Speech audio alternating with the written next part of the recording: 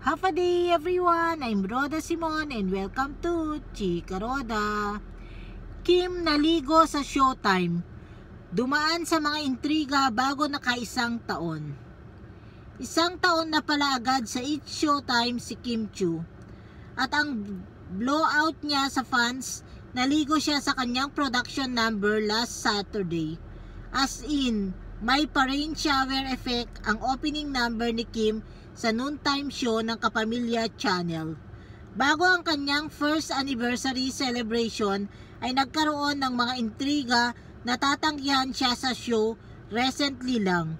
Na-issuehan din siya sa controversial comment about cheating at pagkakamali sa Bible verse.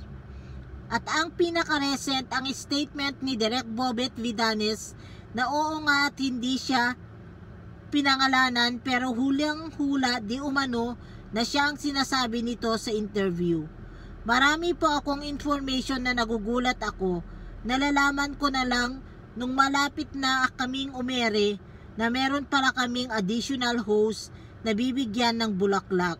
Opo, sa showtime. Huwag nyo na lang tanungin kung sino. Panoorin nyo na lang. Basta may mga ganun nagde-decide sila na meron palang permanent na new member. Ano ba naman yung sabihin nila, sabihan nila ako? Ito po yung nag-eere na kami. Ano ba naman yung konsultahin nila ako tapos pagdating doon, iba-iba ang kwento. Pag-alala ni Direk Bobet.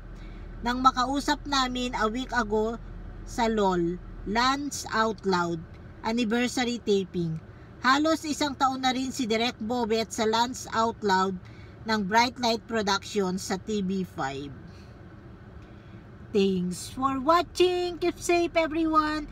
Please don't forget to subscribe and click the notification bell para ma-notify po kayo sa aking mga latest chika.